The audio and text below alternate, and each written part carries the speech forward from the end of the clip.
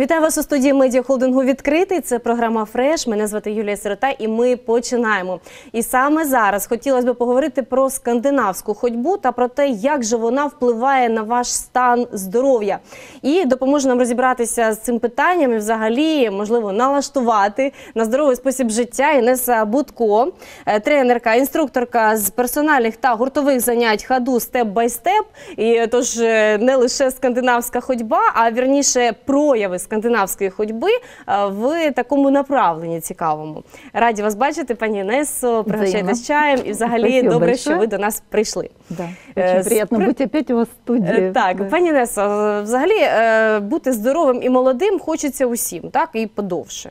Е, Отож, скандинавська ходьба вона зробила такий великий переворот для тих людей, які за якихось причин не можуть займатися активною фізичною е, роботою, фізичним навантаженням, коли їм доводиться постійно, постійно приймати е, якісь силові, наприклад, вправи чи щось іще, а вони не можуть. Отож, приходить на допомогу скандинавська ходьба, так? Да, но нужно сказать, что ходьба – это естественная функция человеческого организма. То мы должны ходить. Вот если мы не ходим, ну что стоит наша жизнь? Мы не можем перемещаться, передвигаться, поэтому ходить нужно. Это естественная вообще э, функция, как я уже сказала, человеческого тела. Но со временем мы видим, что э, и замечаем на улицах, и за собой, может быть, где-то, что как-то шаг стал тяжелый, и идти тяжело, и сложно, и устаем, и уже не так быстро. Почему же это происходит? Э, Что-то происходит с нашим телом. И если для этого не было никаких травм или там каких-то ну, врожденных повреждений вообще человеческой конструкции, то нужно подумать, почему же мы не можем ходить. Э, Мы просто не умеем правильно ходить. А вот А- скандинавская ходьба это как раз та ходьба, которая учит нас двигаться правильно. А скажіть, будь ласка, чи е, це не залежить від е, старості, від е, того, що організм починає вже менше виконувати тих функцій? Ми ж розуміємо, що у 80 е, бабуся там чи дідусь буде вже не так ходити швидко, як молодий. Чи можна таки у 80 усе зробити своїм організмом і тілом, аби як молодий Повернуть время себе? вспять вполне Можна? возможно, да. И я вам скажу больше, э, человек э, слабый не потому, что он старый, а он стареет, потому что он слабеет. То есть давайте поменяем вот эти вот понятия. Почему человек слабеет? Почему вдруг с возрастом это не происходит в одно мгновение, это как-то происходит очень постепенно и вдруг в одно мгновение проявляется. Накапливается вот этот кумулятивный эффект незатребованных мышц, спящие зоны тела, они постепенно, невостребованные в нашей обычной жизни, исключаются из нашего механического движения, вот из естественного постоянного бытового метаболизма. Поэтому первая задача, что требуется от нас, понять это, понять, по каким законам нас создала природа, как она нас конструировала, и запустить в работу всю мускулатуру. Вот для этого существует вот эта наша замечательная, легендарная уже гимнастика ходу. Потому что в прошлый раз, когда я была в студии, я пыталась рассказать вот э, ее основы, базы теоретическая. А смысл в том, что если мы хотим, чтобы что-то работало хорошо у нас в теле, то хорошо должна работать вся наша конструкция. Поэтому на ходу мы заставляем работать те группы мышц, которые совершенно не задействованы в жизни, но они запрограммированы на такое движение. Глубокая внутренняя мускулатура получает развитие на наших тренировках. Но э, дальше мы хотим реализовывать это в обычной жизни хорошо двигаться, активно. Э, И вот для этого существует скандинавская ходьба, чтобы, дополнив ходу, научить нас ходить. Вот как-то даже эти сло- слова совпадают, потому что когда мы начинали ходу пропагандировать, нас спрашивали, а это вы ходите? Нет, вот ходу это как раз тренировка в зале, это тренировка более статичная, то есть мы, мы динамически движемся, но мы находимся на одном месте. А вот ходьба – это естественный наш порыв, и мы должны правильно ходить. Вот для этого у нас и скандинавская ходьба. Что же здесь такого нам приготовила природа? Нужно понимать, что все живые организмы двигаются параллельно поверхности Земли. И это неспроста.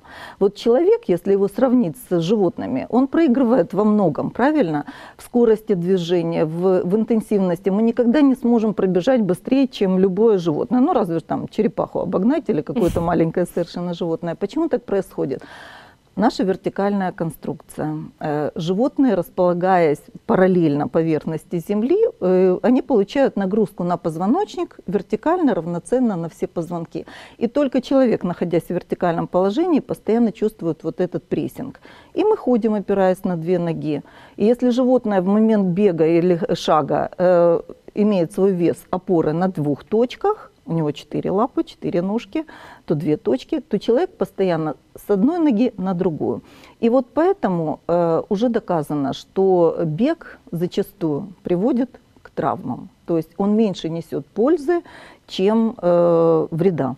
Ну, спортсмени взагалі вони такі люди, які м, більш трав, трав, травматичні. Так вони е, виходять, наприклад, на змагання, е, вони використовують надсилу, їм е, треба зробити щось краще, ніж е, Правильно, звичайні, звичайні е, ситуації, в звичайному житті. І тому е, ми бачимо, що на спортсменів краще е, взагалі не дивитися, як вони, ориентироваться. як вони це Абсолютно роблять. верно, потому что спорт высоких достижений – это, скорее всего, на выработку ресурса. А наша задача – жить, как вы сказали, долго, э, счастливо, э, в здоровом теле, желательно хорошо себя э, чувствовать и выглядеть. Поэтому нам не нужно растрачивать свои силы зря. И вот спорт высоких достижений, и бег в том числе, это как раз вот не наша тема. Это пусть Треба люди себе берегти, Да, так? абсолютно верно. Но, естественно, естественно, мы должны двигаться. Ну не и- лежати, не лежати, не сидіти. Да-да-да. Берегти це значить, треба себе почувати в тонусі, Поэтому- але в достатній мірі, так в да, достатній абсолютно степені. верно, да. И поэтому вот скандинавская ходьба, она как-то привлекла внимание несколько э, лет назад уже. И сейчас это такое активно развивающееся движение, продвижение. И мы часто видим людей со скандинавскими с трекинговыми палками, которые ходят по городу. Я ще Вот. хотіла додати, пані Несо, е, що зараз є молодіжна гілка, і Да. зараз багато дітей займаються скандинавською да. ходьбою. Якщо е, цей вид спорту зайшов до нас е, з, біль- з людьми похилого віку, Да, так да, то да, зараз вірно. це вже отримало е, широке розповсюдження. Да, да, совершенно верно. И с каждым годом становится все больше молодежи. Когда мы начинали продвигать это направление два года назад, ну, я помню вот эти постоянные шуточки, «А где вы лыжи забыли, и, и вообще, девушка, а зачем вам палочки? Вот, э, потому что люди не понимали, а что это, для чего это? Неужели ты не можешь просто идти без палок? Ты на них опираешься? Ну, э, вернемся к конструкции на четыре точки опора. Вот как раз вот эти палки, которые у нас в руках, они выполняют функцию вот этой опоры еще на две точки. Поэтому, когда мы идем, у нас работают и ноги, и руки. Э, Палки ставятся в определенной э, последовательности и в правильном положении. То есть не вертикально, как перед собой обычно идет там лыжник, да, вот э, по лыжне, а немножечко сзади, немножечко в диагонали, и даже вот этот сам сапожок, наконечник, который одевается на палочку, он имеет такой вот диагональный скос. Потому щоб что триматися, да, так? да, Е, чтобы і триматися была нерівно. сцепка, Так? сцепка с поверхностью земли. Потому что в момент шага мы должны определенный импульс себе создавать руками, и тут идет толчок отталкивания от земли. Він Э, гумовий, так? Да, да, эти наконечники, их несколько обычно идет в комплекте трекинговых палок. Ну, как правило, самый распространенный это вот именно сапожок, так называемый. Вот. И вот опираясь на вот эти четыре опоры, ноги и руки на палках трекинговых, мы получаем совершенно другой импульс для ходьбы. Во-первых, сразу же выстраивается вертикаль позвоночника, как- потому что вы просто не сможете идти хорошо, активно, быстро, если вы находитесь в сутулом состоянии. То есть подтягивание внутренних мышц, выравнивание поз- полностью позвоночника, и тогда мы уже можем двигаться. А як тоді виходить? Ми е, рівно стоїмо, так ми вирівнюємо хребет, але руки у нас залишаються трошки позаду, так? Нет. Э, Вот Спереду. тут и начинается самое Питание. сложное. Как, как ни странно, сложно людям отталкиваться, э, размахивать руками правильно. Э, Это или шаг робота, когда одноименная рука, нога идет э, вперед, или же э, совершенно вот прижатые, зафиксированные плечи. Самое сложное, с чем я столкнулась, это заставить дать отмашку руки в плече.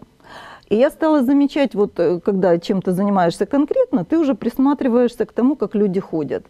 Или руки в карманах, или же максимум э, отмашка от локтя, или же женщины прижимают к себе сумку. В общем, никакого широкого шага, объемного движения руками не наблюдается.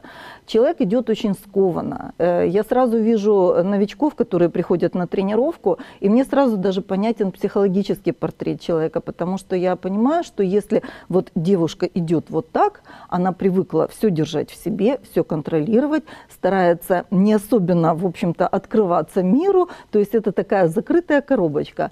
Так И ви вот виходить ще і психологічно Абсолютно. допомагаєте людям Да. розкритись, показати себе. Совершенно меняется абсолютно как-то вот восприятие себя в этом мире, потому что человек учится э, не бояться занимать много пространства, э, гордо идти, спокойно себя чувствовать, быть уверенным. А чего стоит преодолеть вот эти вот э, взгляды, когда вот люди с непониманием, когда мы идем таким вот веселым нашим табунчиком, э, когда они вот смотрят на нас и не понимают, что же они А делают. ви помітили, эти що девушки. люди затиснуті, дуже Да, затиснуті, да, да, і так багато е, різних психологічних е, існує е, затисків, що людина просто не може з ними впоратись. Да, І да. Один, якщо є, це ще нічого, а їх е, переважно багато. Ви совершенно і праві, треба з да. ними в- якось боротись. Я знаю, что, конечно, многие пытаются проходить тренинги разные, работать психологически. Но вот буквально вчера на одной из тренировок э, э, девушка, которая ходит ко мне уже несколько лет,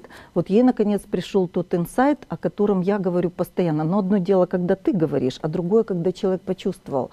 Она говорит, я свои психологические проблемы научилась решать через работу с телом, потому что через психику очень сложно добраться к себе и ликвидировать какие-то вот эти вот паттерны, какие-то блоки, какие-то зажимы, которым, с которыми человек уже сжился.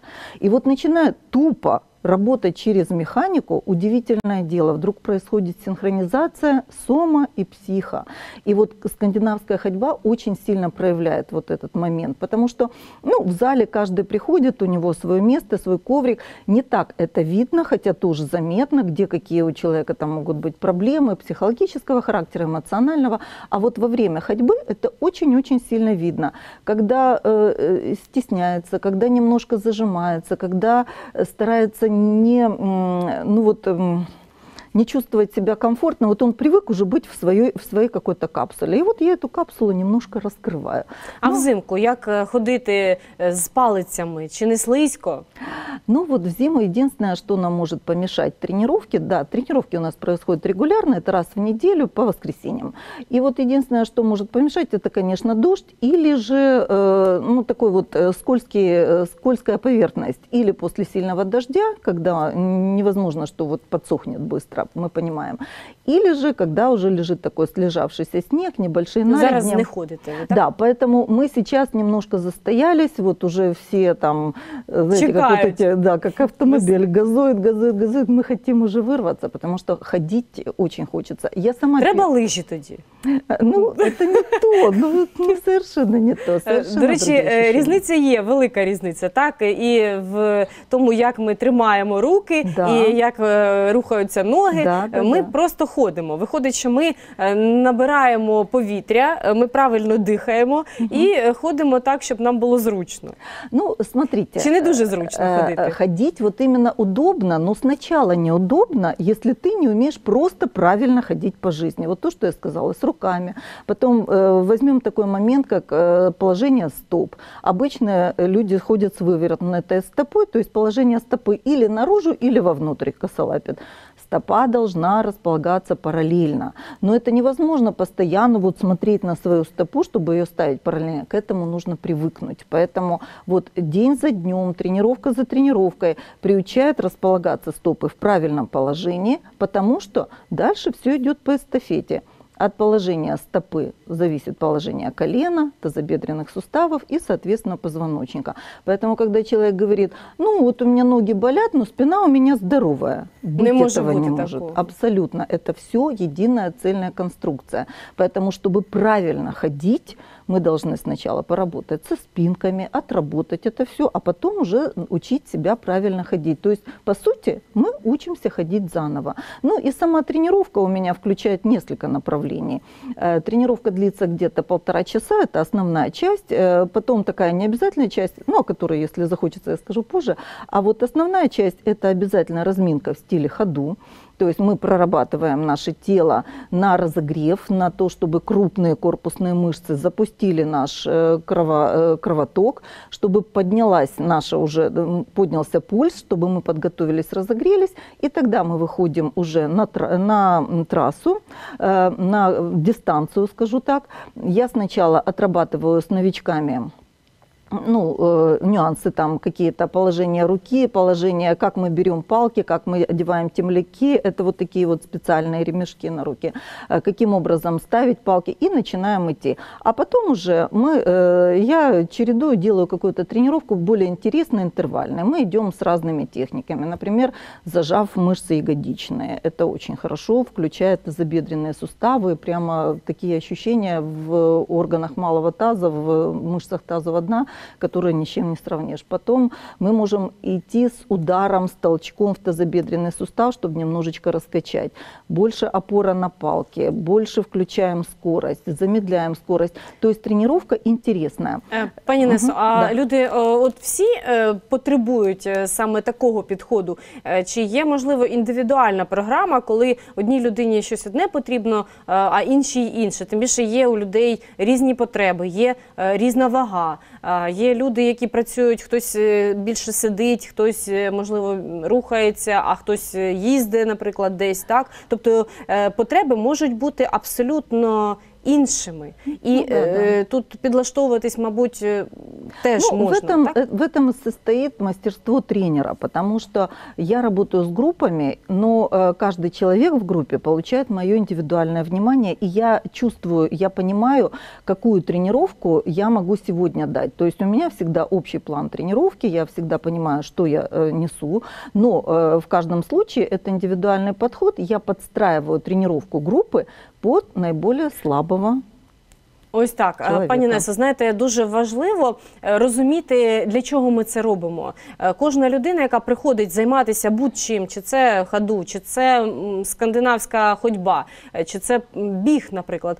Кожна людина розуміє, для чого їй це потрібно, що вона отримає потім в результаті. Всі ми хочемо бути здоровими і якомога довше жити, жити у, у міцному тілі, так Да, щоб да. все було добре, щоб всі наші м'язи рухалися, щоб була рівна спина, рівні коліна і Мгм. е, все, щоб працювало. І тоді, звичайно, коли все буде в комплексі, то ми можемо розуміти, що ми не дарма цим займаємося. І саме для Да, цього ми і абсолютно приходимо вірно. на тренування. Я открою вам один секрет. Э, Каждый человек думает, что его проблема индивидуальна, но мы все одинаковые. Мы совершенно скроены по одной конструкции, по, по одному лекалу. Просто э, каждый пришел к этому периоду своей жизни благодаря своим каким-то личным, неправильным действиям, непониманию, какому-то невежеству, может быть, в плане э, собственного тела. Потому что зачастую устройство собственного, автом- э, собственного автомобиля или телефона человек знает лучше, чем собственное тело свое. На жаль, Да, на жаль. поэтому моя задача научить и влюбить в это. Ну, в общем, получается. Звичайно, дякуємо, що прийшли. Пані Несо, розповіли так багато. Сьогодні ми почули про те, як е, взагалі побудовані тренування, що це таке, е, для чого потрібна скандинавська ходьба. І е, я думаю, що це цікаво було нашим глядачам. Вони з радістю сприймуть ту інформацію, яка їм потрібна, тому що в кожного св- свої запити, і кожен для себе обере те, що йому буде найбільше підходити. да. Тому дякуємо вам. Спасибо Хочемо большое. побажати вам міцного здоров'я. Нехай все буде добре. А Взаємно. А ми зустрінемося з вами вже за декілька хвилин.